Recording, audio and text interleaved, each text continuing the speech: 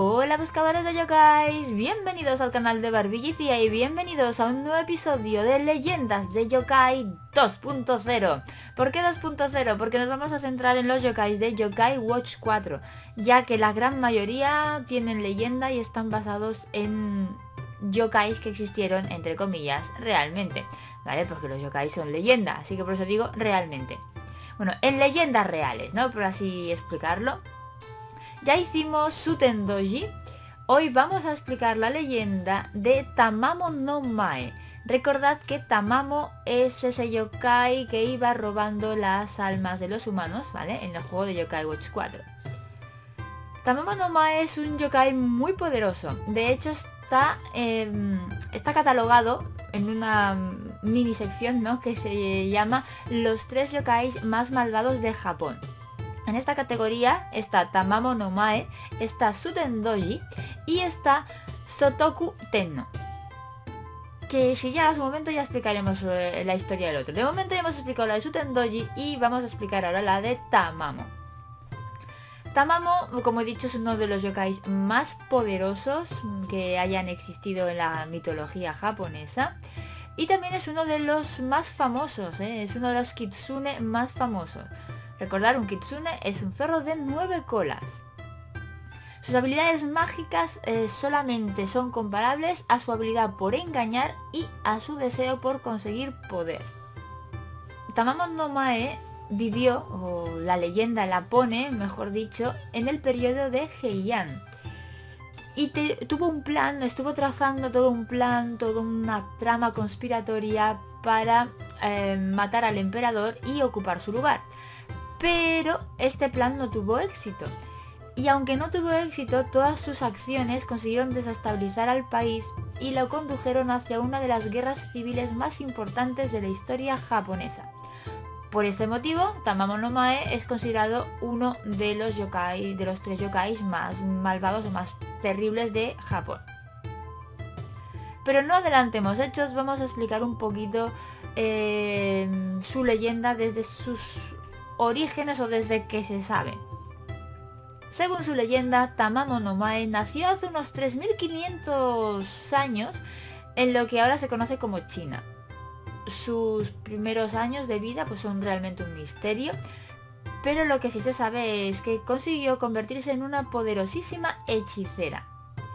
Y al cabo de unos cuantos cientos de años más, se convirtió en una kitsune. En una Kyubi, Kyubi no Kitsune, ¿no? Una, mm, una, zorra de nueve colas, de piel blanca, o sea, de cara blanca y piel dorada.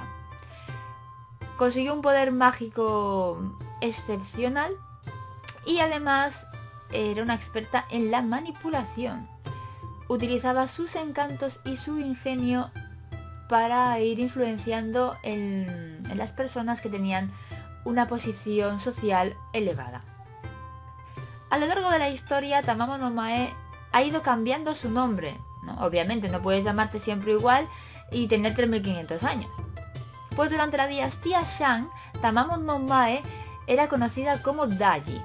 Se disfrazó de una mujer muy muy hermosa y se convirtió en la concubina favorita eh, del rey Zhou de Shang. Pero bueno, Daji la verdad es que menos un modelo, de persona era cualquier cosa, porque organizaba fiestas erótico festivas en los jardines del palacio y intentaba inventarse nuevas formas de tortura mm, para distribuir por doquier. Finalmente Daji provocó la caída de toda la dinastía Shang, pero logró escapar de la ejecución y huyó al reino de Magadha en India, en la India. Una vez en la India, tampoco se estuvo quietecita, porque allí cogió y volvió a cambiar de nombre y se la conoció como Lady Kaio. Se convirtió también en una consorte del rey, del rey Kalmashapada. En Japón se la empezó a conocer en esa época como Hansoku. Como ya venía haciendo en veces anteriores, utilizaba su belleza y sus encantos para dominar al rey le obligaba, o sea, Tamamo no Mae obligaba al rey a devorar niños, asesinar sacerdotes y a cometer otros horrores indescriptibles. Finalmente, ya sea porque se quedó sin niños para comer o porque Kalma Shapada comenzó a mm, alejarse de ella y a acercarse hacia la religión del budismo, Tamamo Mae huyó de vuelta a China. Durante la dinastía Zhou se hizo llamar Bao y fue una de las mujeres más deseadas en toda China.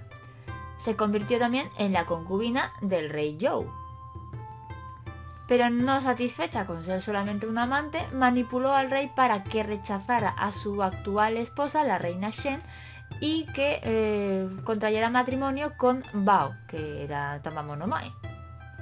Y aunque, era, aunque Tamamo era hermosa, o aunque Bao era hermosa, rara vez sonreía. Y para complacer a su nueva y bella esposa, el rey Zhou eh, cometió a tal actos de maldad y atrocidades tan, tan increíbles que todos sus nobles lo abandonaron y lo traicionaron. Finalmente el rey Zhou fue asesinado y Bao, Tamamo no Mae, fue capturada y de esa forma la dinastía Zhou llegó a su fin. Pero de alguna forma, Bao, Tamamo no Mae, consiguió escapar de nuevo y estuvo escondida durante muchos años en algún lugar que se desconoce. Desde ese momento hasta el año 700 no se sabe nada de sus actividades por el mundo, pero de repente resurgió disfrazada de una niña de unos 16 años llamada Wakamo.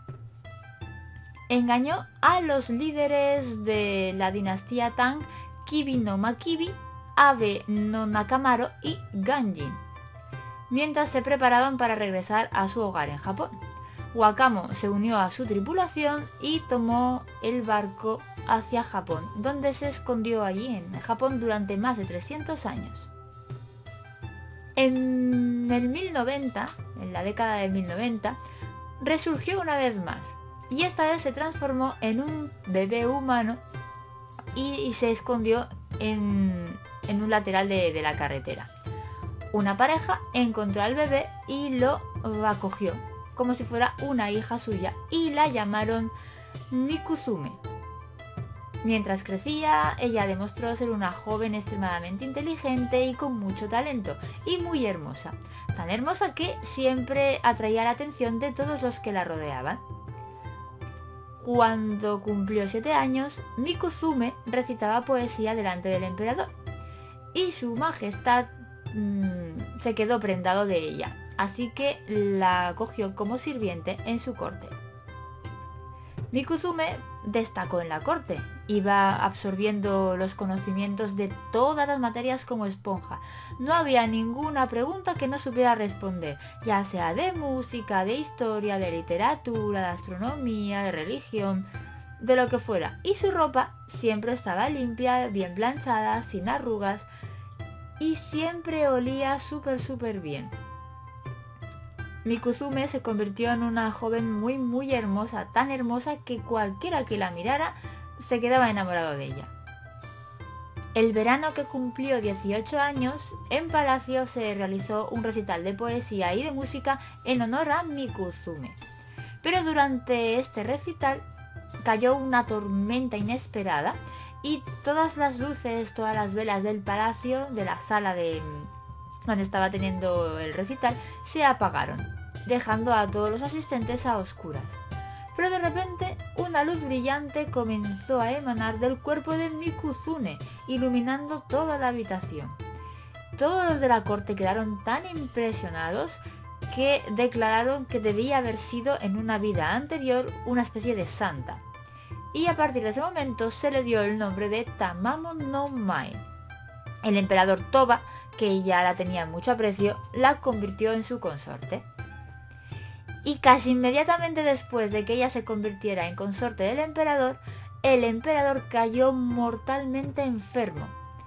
Ninguno de los médicos de la corte pudo determinar o pudo conocer la causa, por lo cual llamaron a Abe no Yasunari. Leyó, leyó la fortuna del emperador y adivinó que estaba señalado por un mal presagio. Después de eso, los sumos sacerdotes y los monjes fueron convocados al palacio para rezar por la salud del emperador. Sin embargo, ninguna oración fue suficiente para sanar al emperador, no tuvieron ningún efecto y el pobre emperador siguió yendo a peor.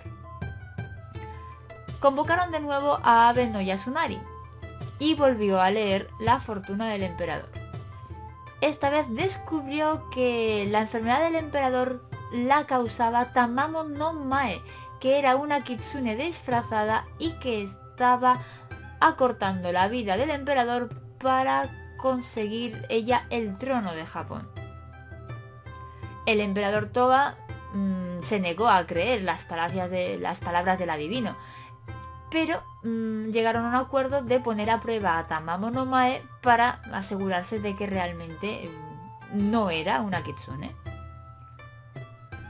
Para salvar la vida del emperador, Abe no Yasunari preparó el Taizan Fukun no Sai, el hechizo más secreto y poderoso conocido. Tamamo no Mae recibió la orden de realizar parte del ritual llegaron a la conclusión de que un espíritu maligno no podría participar en un ritual tan sagrado. Y aunque Tamamo fue reacia a participar, los ministros del emperador pues la, lograron convencer. Le dijeron que aumentaría su posición en la corte, así que no tuvo más remedio que aceptar. Cuando se iba a realizar el ritual, Tamamo no Mae se vistió mmm, de la forma más bella, más hermosa que, que pudo y recitó mm, las palabras tal y como se esperaba y desempeñó su papel mm, a la perfección. Pero justo cuando se preparaba para saludar a los asistentes al personal ceremonial, desapareció. La profecía de Abe no Yasunari fue confirmada y la corte se alborotó, se volvió una locura. Bueno, Tamamo no Mae desapareció y durante un tiempo no se supo nada más de ella. Pero al poco ya empezó a llegar la noticia de que mujeres y niños estaban desapareciendo cerca de Nasuno, en la provincia de Shimosuke. Los hechiceros de la corte llegaron a la conclusión de que Tamamo no Mae era la causa y decidieron que había que acabar con ella de una vez por todas. El emperador convocó a los mejores guerreros de todo Japón y luego nombró a Kazunosuke y Miuranosuke los responsables para encontrar a Tamamo no Mae. Los guerreros aceptaron gustosamente eh, tal honor. Se purificaron y partieron con un ejército de 80.000 hombres para ir a la búsqueda, captura y muerte del kitsune de nueve colas conocido como Tamamo no Mae. Al llegar a Nasuno, el ejército encontró rápidamente al kitsune. Los guerreros la persiguieron durante días y días, pero Tamamo no Mae utilizó sus poderes mágicos y los engañaba una y otra vez, una y otra vez, escapando sin problemas, sin dificultad. El ejército empezaba a cansarse y también empezaba a frustrarse porque no había forma, cualquier cosa que hacían no lograban. O sea, no funcionaba. Sin embargo, Kazu Sanosuke y Miuranosuke no eh, querían asimilar la vergüenza de una derrota y prometieron seguir adelante hasta conseguir eh, acabar con el kitsune. Empezaron a practicar y a entrenar y perfeccionar sus técnicas mientras iban siguiendo el rastro del kitsune. Una noche, Miuranosuke tuvo un sueño de estos proféticos. Una joven muy hermosa apareció ante él llorando y le, suplicaba eh, que por favor mañana perderé eh, mi vida por ti, sálvame. Miuranosuke se negó y se despertó. Los guerreros se pusieron en marcha de nuevo para encontrar a Tamamo no Mae y efectivamente al día siguiente la atraparon. Miuranosuke disparó dos flechas, una le alcanzó el, flanco del zorro y otra le atravesó el cuello. Y Kazunanosuke em, le cortó la cabeza con su espada. Y ya todo había acabado, tal como había profetizado el sueño. Sin embargo, la maldad de Tamamo no Mae no acabó con su muerte. Un año después de su muerte, el emperador Konoe murió sin herederos. Y al año siguiente, eh, su amante y el antiguo emperador Toba también murió. Por lo cual empezó a extenderse una crisis de sucesión al trono. Y esta crisis inició la rivalidad entre los Fujiwara y los Minamoto, lo cual inició el surgimiento de los primeros shogunes y todo un periodo de guerras. Pero eso no es todo. Hay un pequeño añadido a esta historia que dice que el espíritu de Tamamo no Mae se metió dentro de una piedra llamada Sheshoseki.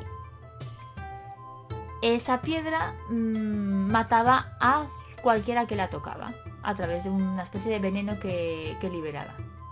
Se dice que la piedra fue destruida eh, por el monje budista Geno Shinzo, quien exorcizó el espíritu del zorro que estaba arrepentido y permitiendo de esta forma que el espíritu finalmente descansara en paz. Y hasta aquí la historia y leyenda de Tamamo no Mae, que hasta la fecha es la más larga que hayamos explicado en esta sección. A mí me encanta la mitología, me da igual de qué país o de qué zona sea, me encanta directamente. Espero que a vosotros también os haya gustado y que hayáis disfrutado con este relato. Eh, siempre está bien saber dónde vienen los personajes o las cosas de los juegos, series que te gustan. Yo disfruto mucho haciendo esta serie y bueno, os invito a que pongáis en los comentarios nombres de otros yokais de los cuales os gustaría saber su leyenda. Pero recordad que ya tenemos muchos hechos. Tenemos el de Jibanyan, Koma-san, Komajiro, Granema, Benocto, em, obviamente de Kyubi y de muchos más, ¿vale? Pero bueno, ponedlos y yo miraré y si ya lo tenemos hecho os indicaré, ya lo tenemos hecho. Y si no, pues bueno, lo investigaré. Como siempre, espero que os haya gustado, gracias por vernos y nos vemos en próximos vídeos. ¡Hasta luego!